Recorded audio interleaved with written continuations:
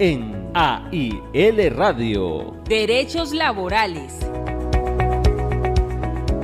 El gobierno nacional, en cabeza del presidente Gustavo Petro, presentó a la sociedad el proyecto que busca reformar algunas de las normas del juego que rigen las jornadas laborales, los términos de los contratos por prestación de servicios, el trabajo en plataformas digitales, los pactos colectivos, entre otros.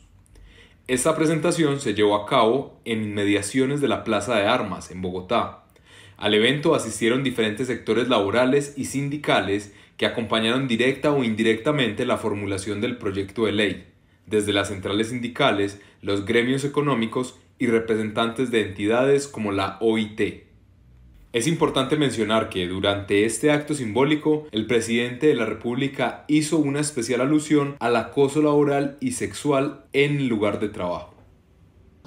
Este proyecto de ley debe permitir, si se aprueba por el Congreso de la República e inicia su trámite allí, que cese el acoso sexual y laboral en el país debe permitir que el salario real pueda crecer en Colombia para que pueda industrializarse este país. Debe permitir que la gente pueda ser más feliz en esta sociedad, precisamente porque pueda disfrutar de más tiempo libre. Debe permitir que se pueda organizar el cuerpo de trabajadores y trabajadoras para poder discutir de tú a tú con el mundo empresarial. Ese mundo fragmentado del movimiento obrero en 80, en 100 sindicatos por, entidad, que nos recuerda la tesis de la libre competencia del mercado, cuando el mundo obrero tiene que unificarse para poder ganar capacidades de negociación.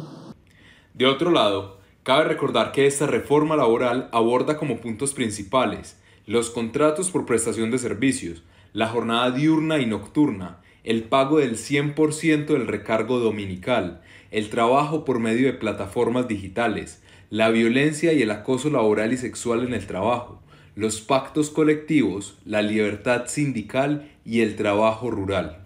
Sobre estos puntos, en esa misma jornada, la ministra de Trabajo, Gloria Inés Ramírez, también se pronunció.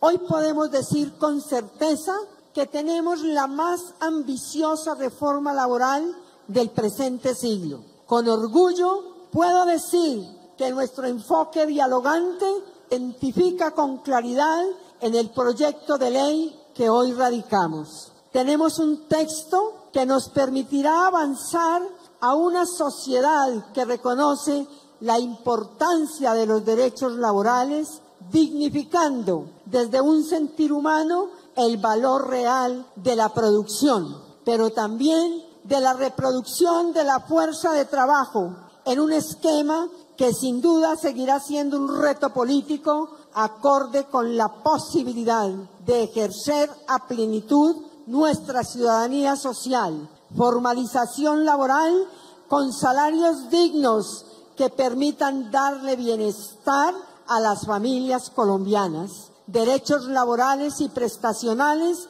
acorde con nuestros contratos, eficacia del derecho de asociación, pero sobre todo con la posibilidad de poder crecer colectivamente como sociedad en una dinámica económica que requiere de las empresas, pero también de los trabajadores y trabajadoras como generadores de riqueza.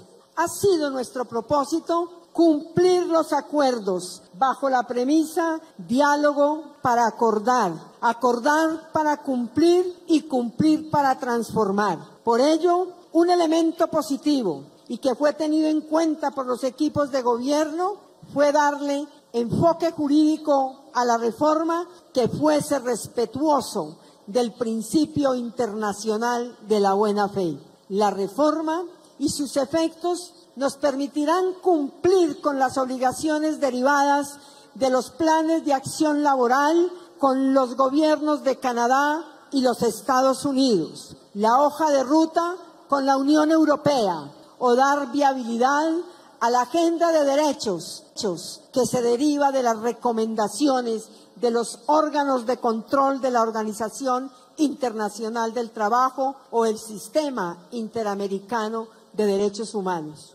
Finalmente, es importante precisar que la reforma laboral llamada Trabajo por el Cambio recibió insumos de diferentes sectores del mundo laboral, donde empresarios, centrales obreras y sociedad civil en general participaron de diálogos vinculantes.